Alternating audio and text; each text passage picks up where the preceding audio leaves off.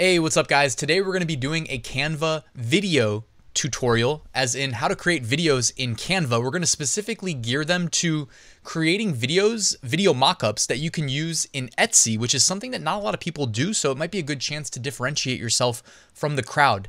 Now, this tutorial is going to be led by Michelle B, so if you guys are appreciating the time that she is investing into creating them, just make sure to drop a comment below and say, even if it's just a simple thank you, and hit the like button. So let's get started.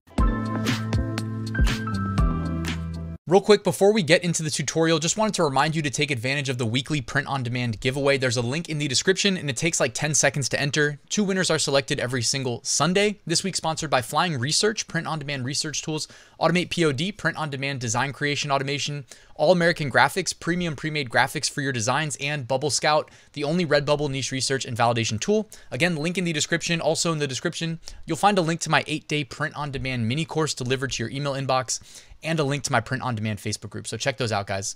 All right, let's get straight into the Canva tutorial.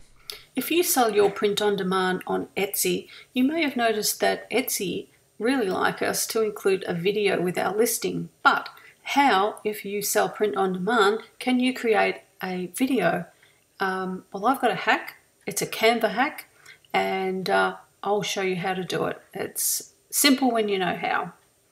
What are Etsy saying about videos? Etsy say over here, buyers are loving listing videos. We know that shoppers are more likely to purchase an item if the listing includes a video. Ka-ching.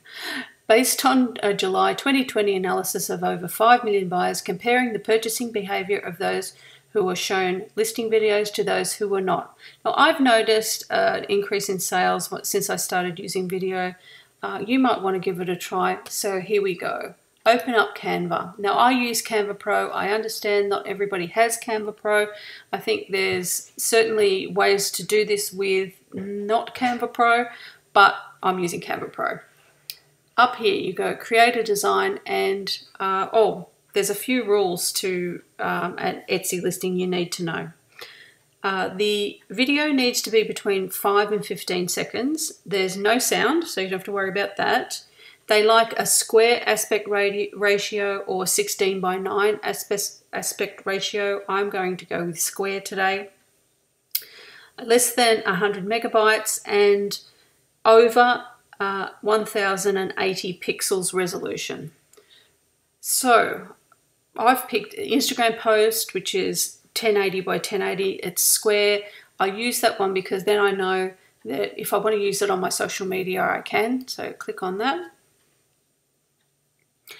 And here is my screen. I want to make sure you can see that. I'll add a page because it helps it just sit right there in the middle.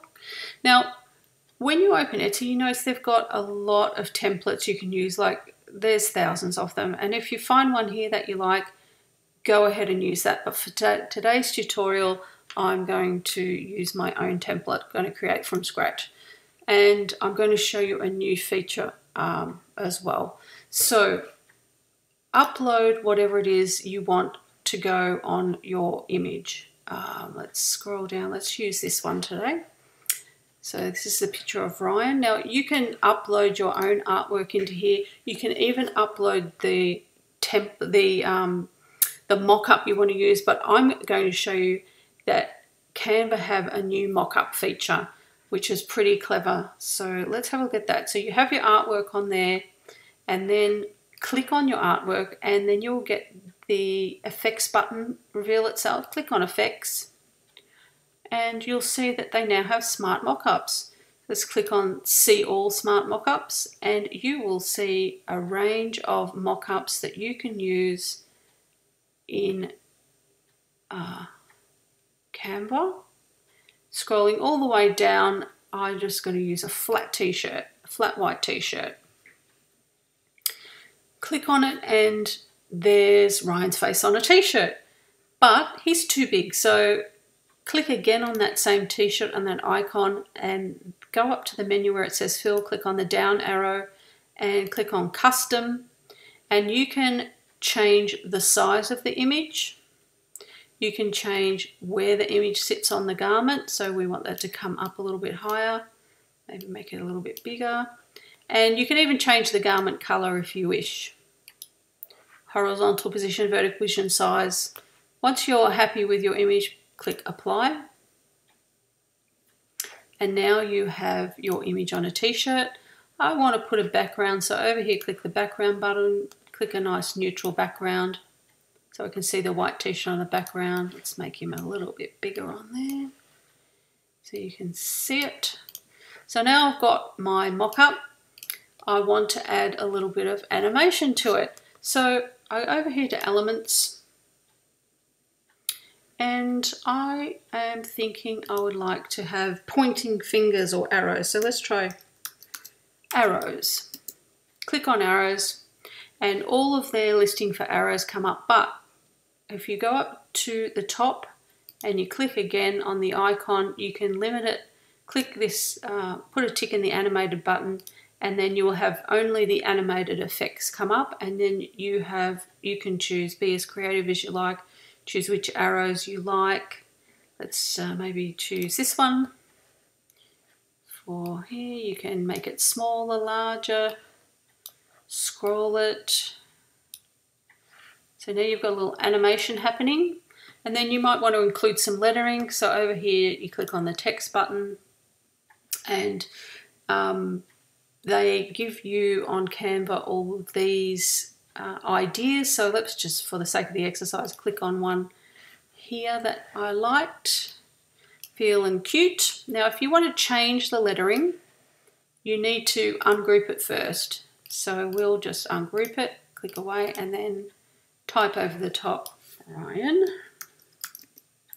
Ryan Cute. There we go. You can change the colours, whatever you like to do there. So now you have, have a cute little animation. If you look up here, it goes for six seconds, and that's fine. It's more than five seconds, but, um, well, actually, let's play it and see what it looks like. So up here at the top, you can click on the play button, and it will play the little animation. And that's fine. You may like that, but you can actually add some more animation to it if you like. And by going up here to the top corner where it says animate, so click on animation and a menu will come up. And if you hover your mouse over the top of each of these um, menu items, it will give you a preview of the animation it will add to your page. Breathe, fade, pan, rise, photo flow, photo zoom, tumble, like tumble, photo. There's there's a lot, um, and these appear to be free animations. And these one with Crown, these are probably only available for those with a pro account. So let's pick the tumble animation. So now we have um, a new animation to look at. Let's play that and see what that looks like. That's a cute animation.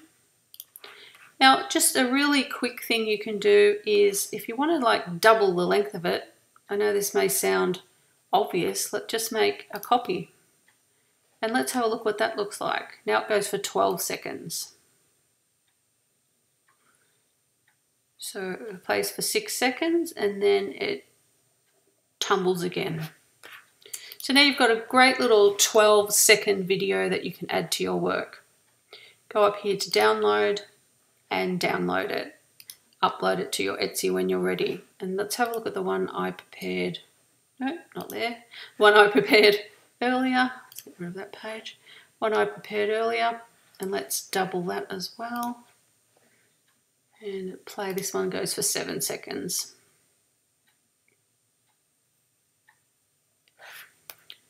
So that's the first one. Let's have a look at the next one. We'll start at the end. I'll play you what it looked like at the end.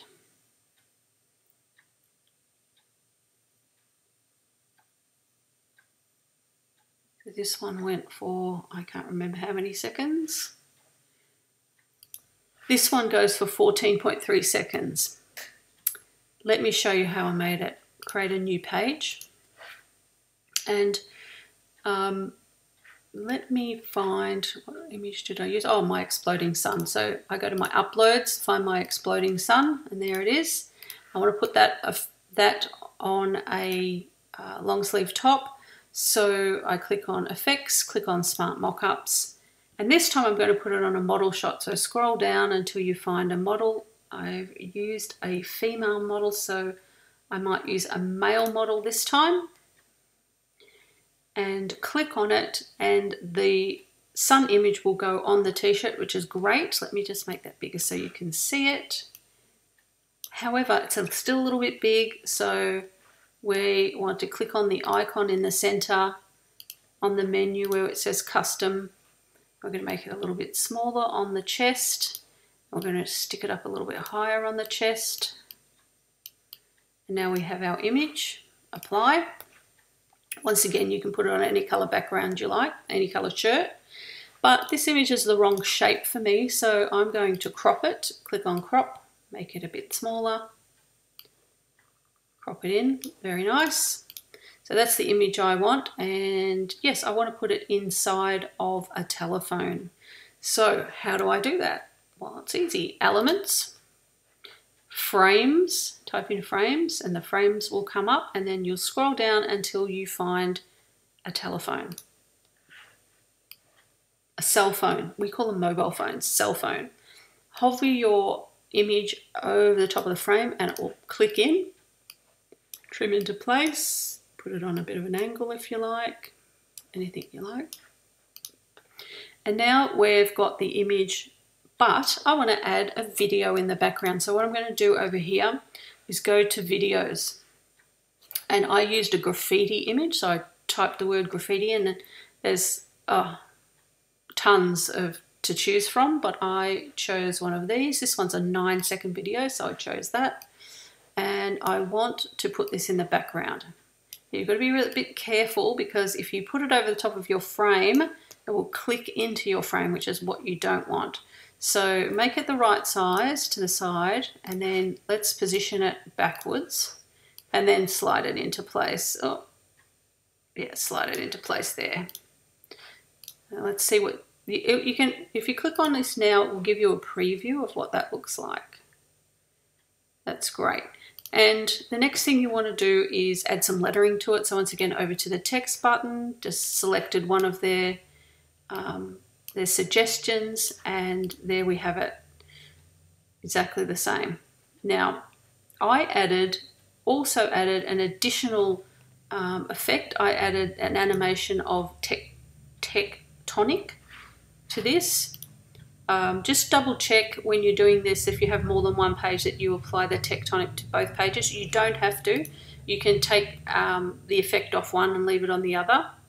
And another thing that you can do if your video is running too long, you can click on the video and you can cut your video down. So you can just use these guides to bring it in and it tells you now it's at 12, 11, 10 seconds. So you can cut your video down you can slide your video along, cut down the front, cut down the end. So I might just, I might, for the sake of the exercise, get rid of that one and just play with this one. Um, so now I've got my video ready to go. It's got the tectonic effect. Let's have a look again at what that looks like.